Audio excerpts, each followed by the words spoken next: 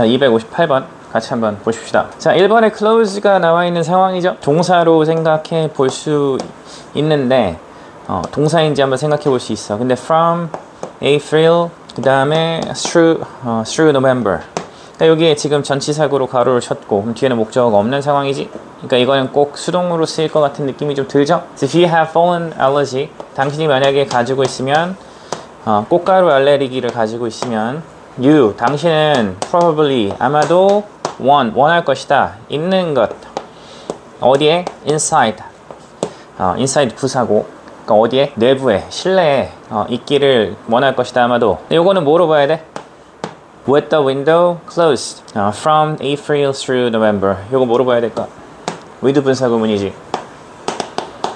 with 분사구문. 명사 다음에 뭐 나오고 ing가 나올 수도 있고 명사 뒤에 pp가 나올 수도 있지? 자 명사 뒤에 ing가 나오면 뒤에 목적어가 있고 pp일 때는 목적어가 나오지 않는 거잖아. 그지? 여기에 뭐가 생략되고?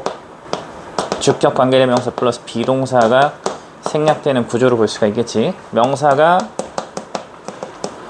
뭐뭐 하면서 이런 의미를 가지고 있는 하나의 구문으로 볼 수 있겠지. 굉장히 중요하다. 서술형으로도 고등학교에서 굉장히 자주 나오는 애들로 볼 수 있지. 여기서는 어떻게 돼? 창문을 닫은 채로 이렇게 되는 거지. 여기에 뭐가 빠져 있어?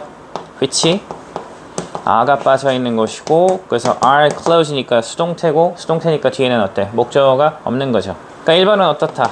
맞는 것으로 확인이 가능하다라고 보시면 되겠죠. with 분사 구문의 형태고 분사 구문보다는 당연히 덜 나오는데 나왔을 때 그래도 변별력이 더 높다라고 하는 점들 꼭 기억을 해야 되겠지. 같이 기억해 주시고 그러면 1번 정리하고 2번으로 갑시다. 자, where이 나와 있는 상황인데 where은 일반적으로 뒤쪽의 문장 구조가 어떻다 완벽하다라고 봐야 되겠지. pollen can become trap. pollen 어, 이게 화밀 아니면 꽃가루 이것이 어, can become trap 여기에 지금 become pp로 지금 수동태 문장으로 볼 수 있겠지. 갇힐 수가 있다. 어디에? 카페트라든지 아니면 옷에 갇힐 수가 있다.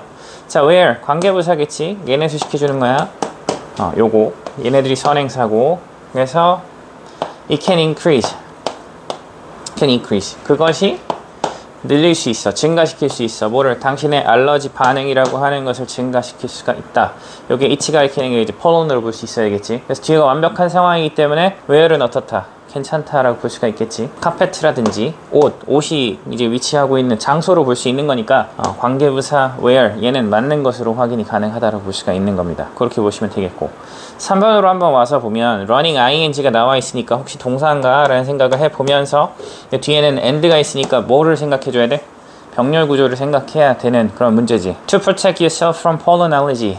뭐뭐 하기 위해서, 보호하기 위해서 당신 자신을 뭐로부터 꽃가루 알레르기라고 하는 것으로부터 당신 자신을 보호하기 위해서 you need to 요게 지금 you가 주어란 말이야. 그리고 지금 보호하는 대상도 당신이 되는 거니까 여기에 목적격 보호, 아, 목적어 자리에 대기대명사가 나온 것이고 you need to open your window. 당신은 오말 필요가 있다.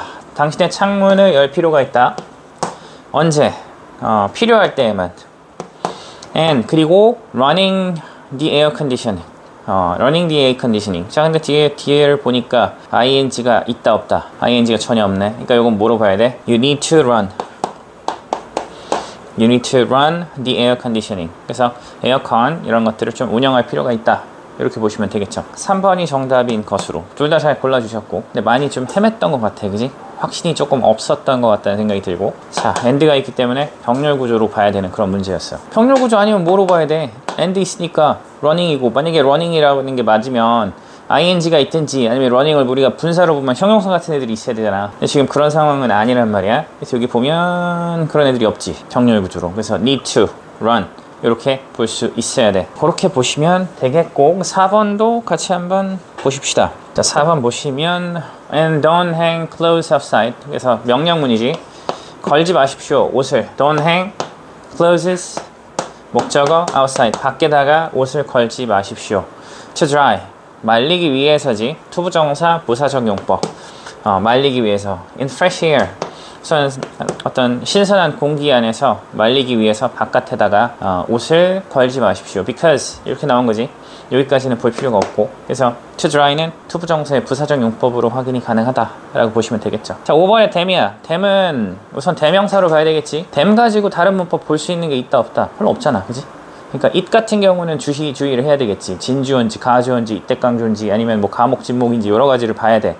근데 댐은 대명사로 보면 되는 거지. or at least. 자 우선 좀 이쪽으로 가야겠다. finally 마지막으로 take up your shoes. 아, 당신의 신발을 벗으십시오. Right outside the door. Outside the door니까 밖이지 밖에. 그러니까 문 밖에서. 문 밖에서 바로 신발을 벗으십시오. Right은 바로라는 뜻이지. Right after, right before 하면은 바로 이런 뜻으로 쓰시는 것이고. 자, before coming inside. 그러니까 안으로 들어오기 전에. 자, 그래서 or at least 적어도 뭐 해라? 닦아라. 뭐를? 신발을. 신발 복수. 된 문제가 없지. Well, 잘. 어디서? Outside. 밖에서. On a mat. 매트 위에서. 그래서 템은 shoes 복수기 때문에 템을 나타내는 것은 전혀 문제가 없다. 자, 258번 이렇게 마무리를 하시고요. 259 가서 또 문제를 풀어보도록 하겠습니다.